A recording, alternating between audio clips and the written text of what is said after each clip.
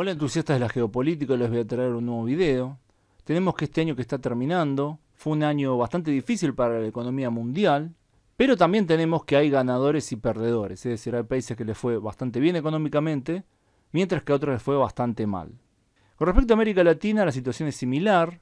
En conjunto, América Latina creció económicamente, el PIB de la región aumentó un 2,1%. Esa cifra representa un descenso en comparación con los resultados de 2022, pero es mayor que el crecimiento previsto para el año que viene, que se ubicará más o menos en 1,8%. Entonces tenemos que, según la CEPAL, la región se encuentra en una senda de desaceleración, que es reflejo del bajo dinamismo del crecimiento económico y el comercio global. Esto implicará una desaceleración en la creación de empleo y en la persistencia de la economía informal, y de las brechas de género, entre otros efectos. La CEPAL también dice que esto no es algo tan fatalista, no hay que tener una lectura tan fatalista, sino que cada gobierno puede tener medidas para hacer que la economía funcione mejor en cada país según justamente las características propias. Bueno, ahora si vamos a discriminar entre los ganadores y perdedores, tenemos que ver que a algunos países les fue bastante bien, especialmente lo que sería México y Centroamérica. Esa zona creció bastante. Conjuntamente el PBI creció un 3,5%, mientras que Sudamérica tuvo un crecimiento del PIB del 1,5%. Para 2024 se prevé que Centroamérica y México crezcan un 2,7% y América del Sur logre un incremento del 1,4%.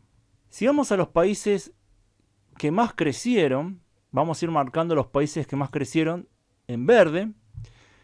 Y tenemos en primer lugar a Panamá con un 6,1% de crecimiento, seguido de Costa Rica con un 4,9%. Luego está Paraguay en Sudamérica con un 4,5%. Luego tenemos a México con un 3,6%. Luego viene Guatemala con un 3,4%. Luego Honduras con un 3,3%. Nicaragua creció lo mismo, 3,3%. República Dominicana que creció el 3,1%. Brasil un 3%. Venezuela un 3%. El Salvador un 2,3%.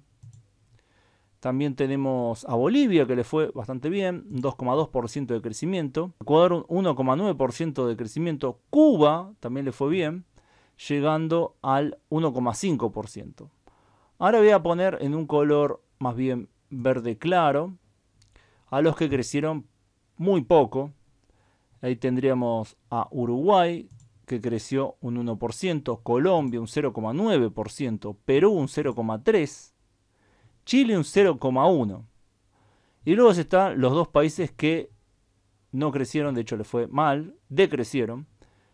Tenemos a Haití que decreció un 1,8% y Argentina que decreció un 2,5%.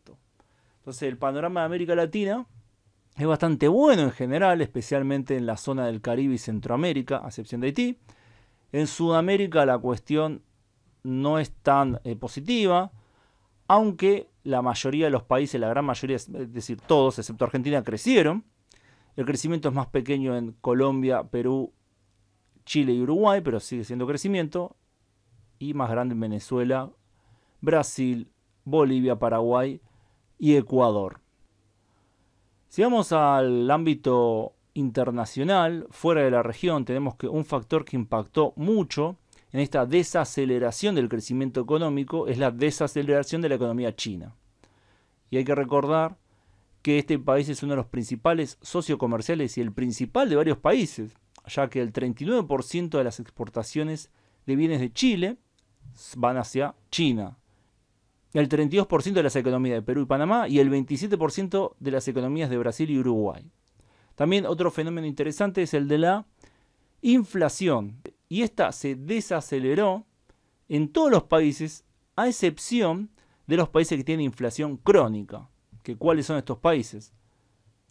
Tenemos a Argentina, obviamente, a Venezuela, a Cuba y Haití.